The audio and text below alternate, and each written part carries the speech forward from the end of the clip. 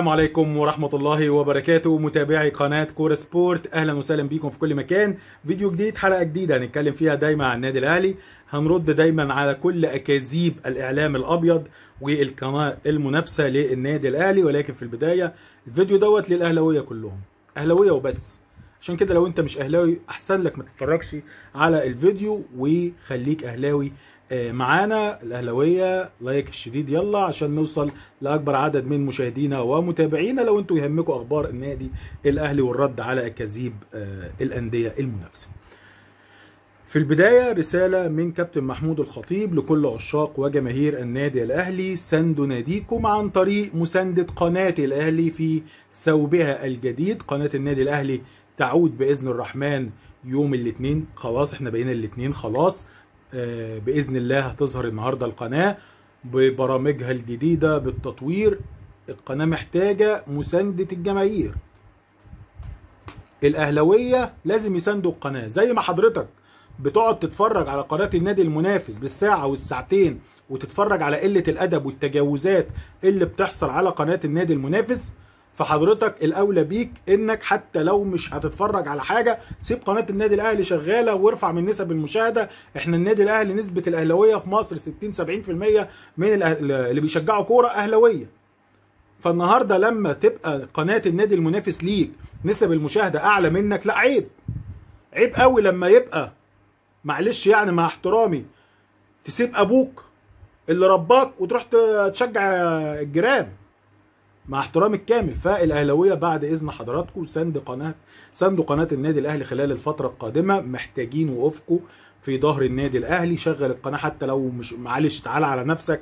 إحنا دايما الجماهير بنضحي وزي ما قالها الأسطورة آه الدائمة بينا صالح سليم لما قال الأهلي ملك جماهيره. الأهلي ملك جماهيره. والجماهير دي هي اللي عملت الأهلي. والجماهير اللي عملت الأهلي هي اللي هتعمل قناة النادي الأهلي. طب تعال نخش بقى في آه، مواضيعنا. أول موضوع وهو الجمعية العمومية لنادي الزمالك النهارده وفقا للتصريحات الرسمية من مسؤولي النادي الأبيض إن النهارده يا جماعة حضر 14 ألف عضو في الجمعية العمومية في نادي الزمالك في أقل من 12 ساعة. كلام جميل كلام جميل. معنى كده يا فندم إن كان في تزاحم. معنى كده يا فندم ما كانش في تباعد اجتماعي. معنى كده يا فندم إن مفيش كورونا. مفيش خوف من الكورونا دلوقتي. 14 ألف شخص دخل نادي الزمالك النهاردة وخرج خلال 12 ساعة. يعني بمعدل ألف شخص في الساعة. ألف شخص في الساعة دخل نادي الزمالك النهاردة. وقع على الاستمارة بتاعته في التصويت بتاع الجمعية العمومية والميزانية والكلام ده كله وطلعوا. فما حدش يجي يقول لي النهارده اصل إحنا مش هنلعب الدوري عشان خايفين من كورونا. لا يا باشا. لا يا باشا انت مش هتخاف على 11 ولا 20 30 لاعب وما تخافش على ال 14 اللي جولك النهارده ال 14000 بتوع النهارده. فده فنكوش ده فنكوش ما تقوليش ان إحنا مش هنلعب الدوري عشان كورونا. قول مش هلعب الدوري عشان مش هقدر ادفع فلوس للعيبة. okay. قول مش هلعب الدوري عشان خايف إن أنا ما أوصلش للمركز الثاني والوصيف المركز اللي بيليق بيا دايما. أوكي. إنما ما تقولش أنا مش هلعب عشان خايف من آه، كورونا. طيب. أمير آه، مرتضى خلي أمير مرتضى آه، كمان شوية هنتكلم عن ميزانية نادي الزمالك والمشاكل اللي في- ميزانية نادي الزمالك. ولكن هرد بس على بتاع المعيز الراعي بتاع المعيز اللي بيهاجم النادي الأهلي. واللي طلع وقال على تصريحات فاروق جعفر. إن يا جماعة فاروق جعفر راجل مؤدب فاروق جعفر راجل آه، رصين رصين تمام؟ فالراجل بأخلاقه مرضيش يتكلم. هو كان بيقصد النادي الأهلي في موضوع رشاوى الحكام الأفارقة وإن النادي اللي مقصود بيه أو اللي بيقصده فاروق جعفر هو النادي الأهلي مش نادي الزمالك. ولكن حسن أخلاقه وطيبة سجيته خلته يقول إن نادي الزمالك هو اللي كان بيعمل كده. الراعي بتاع المعيز ما هو راعي بتاع معيز. يعني هو الراعي بيرعى إيه؟ مش بيرعى معيز. والمعيز دي بتبقى فين؟ في الزريبة. في الزريبة ما هو شغال في زريبة. المهم يا راعي يا بتاع المعيز. فاروق جعفر طلع مع عمرو أديب امبارح وعمرو أديب سأله سؤال واضح وصريح. يا بتاع المعيز. قال له إيه؟ يا بتاع الزريبة. قال له يا كابتن فاروق أنت اتهمت النادي الأهلي والنادي الإسماعيلي إنهم بيحسب كانوا بيدوا رشاوى للحكام قال لك بصراحة ربنا وحاجة تحاسب بيها قدام ربنا أنا ما أعرفش حاجة عن الأهلي والإسماعيلي والمقاولين وما شفتش إن هم بيدوا رشاوى للحكام أو بيدوا بوكيت ماني للحكام. ولكن أنا بتكلم عن حاجة عشتها أنا فاروق جعفر ملك النص رمز نادي الزمالك. قال لك دي حاجة أنا عشتها أنا وأنا شاهد عيان عليها. إن إحنا كنا بندفع رشاوى للحكام الأفارقة عشان تظبطنا ضربه جزاء أو بيلين أو طرد أو الكلام ده كله. طيب ده بالنسبة للأخ الراعي بتاع المعيز اللي بيقول برضو إن الحملة الشرسة بعد تصريحات فاروق جعفر آه، المقصود بيها هو الزمالك واللي حصل ده كله علشان الزمالك آه، نخليهم يغفلوا عن حقهم في آه، نادي القرن ولقب نادي القرن وإن هم علشان طالبوا بحقهم في نادي القرن فالناس بدأت تتكلم على آه، رشاوى الحكام رشاوى الحكام في آه، أفريقيا. طيب تعالى لأحمد آه، أمير مرتضى منصور المشرف العام على الكرة في نادي الزمالك في تصريح على قناة نادي الزمالك. قال إيه؟ قال لك كلام فاروق جعفر خانوا التوفيق فيه. أوكي ده ما يهمنيش. اللي يهمني يا راعي يا بتاع البهايم يا بتاع المعيز يا بتاع الزريبة اللي هيتقال دلوقتي. قال إيه الأخ أمير مرتضى؟ قال إن الأهلي والزمالك والأندية المصرية ركز عشان البقر بتوع الراعي اللي بيطلعوا يطبلوا ويقول لك الأهلي بيكسب بطولاته بالحكام. وقناة نادي الزمالك كانت بتطلع قبل كده تقول لك الأهلي كان بيكسب بطولاته بالحكام. النهارده امير مرتضى بيقول لك الاهلي والزمالك والانديه المصريه كسبوا بطولاتهم بالعرق والمجهود وما كانش يقصد موضوع الرشاوى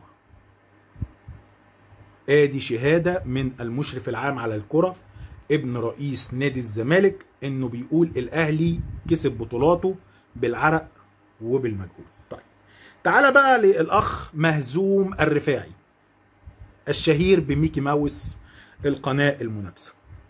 قال إيه بقى ميكي ماوس؟ قال لك الأهلي صراحة ربنا حق ربنا بطولاته مش كلها حرام. عشان ما نظلمش الناس يعني. قال لك الأهلي شوية حرام وشوية حلال. ده مين؟ ده مهزوم الرفاعي. ميكي ماوس. طلع يقول لك الأهلي عنده شوية بطولات حلال وشوية بطولات حرام كانت بتيجي عن طريق رشاوى للحكام الأفارقة. طيب أنت يا إمعة. يا إمعة. ما هو الإمعة ده اللي بيمشي كده إيه دلدول. أي حد بياخده معاه في السكة بيمشي. طالع كده يمشي طالع كده يمشي بيسحبوه دلدول يعني. الأخ ميكي ماوس قال لك إن الأهلي بطولاته حرام. هل في حد من نجوم النادي الأهلي أو أساطير أو رموز النادي الأهلي؟ طلع في يوم من الأيام قال لك إحنا بطولاتنا كنا بنروح نرشي الحكام. لا. طب أنت يا مه- مهزوم الرفاعي. اسمع كلام فاروق جعفر كويس وافهم الكلام كويس. الراجل بدل المرة اتنين وتلاتة واربعة قال لك كنا بنرشي الحكام. طب الأهلي كان بيرشي؟ قال لك لا الأهلي لا. ما سمعتش حاجة عن الأهلي. إنما أنا ككابتن ورمز لنادي الزمالك كنت بقعد مع الحكام وكنا بنوديهم بورسعيد ونجيب لهم بضايع ونجيب لهم عربيات ويركبوا وبتاع ودنيا و... وياخدوا البوكيت ماني وناخد ضربة الجزاء اللي إحنا آه عايزينها طيب تعال نخش على رئيس نادي الزمالك. النهارده الراجل له تصريحين مهمين جدا. التصريح الأول بخصوص استكمال بطولة الدوري قال لك الجمعية العمومية هي اللي هتحدد استكمال بطولة الدوري من عدمها. اتعملت قبل كده في ماتش المقصة وطلع برضو قال لك الجمعية العمومية وعليا الطلاق ومش عليا وفي الآخر لعب وفي الآخر لعب. ولكن بس هي حاجات إيه للشو الإعلامي للبروباجندا الإعلامية ولكن في النهاية هيلعب. الجمعية العمومية وافقت رفضت هيلعب. غصب عن أي حد هيلعب. وقال لك القرار في إيد باتريس كارتيرون لأن هو المدير الفني. طيب. قال لك إيه رئيس نادي الزمالك؟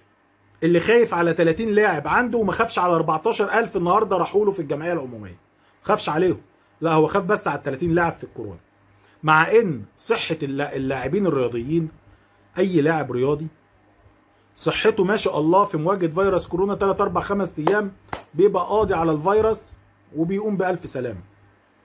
على العكس أنت عندك ناس عندها 60 و70 و80 سنة راحوا لك النهارده الجمعية العمومية. لو واحد لا قدر الله بس كده لطشته بس الكورونا من بعيد كل عام وأنتم بخير. كل عام وأنتم بخير. طيب. قال إيه رئيس نادي الزمالك؟ قال لك الخطيب يريد استكمال الدوري لأنه يريد بطولة قبل الانتخابات. الانتخابات اللي هي لسه في 2021 هو الخطيب محتاج بطولات. الخطيب من ساعة ما جه بياخد الدوري. الخطيب من ساعة ما جه ومسك النادي الأهلي بيكسب الدوري وانت ما بتشمهاش. هات لي سنة من ساعة ما الخطيب مسك قصادك انت كسبت بطولة الدوري. 2016 الأهلي. 2017 الأهلي. 2018 الأهلي. 2019 الأهلي. 2020 إن شاء الله الأهلي.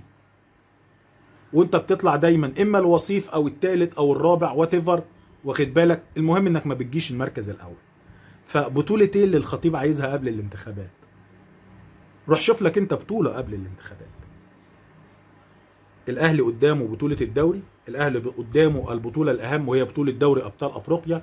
وكم أتمنى أتمنى أقسم بالله إن نهائي البطولة الأفريقية الأهلي يكسبه على حساب الغريم اللدود.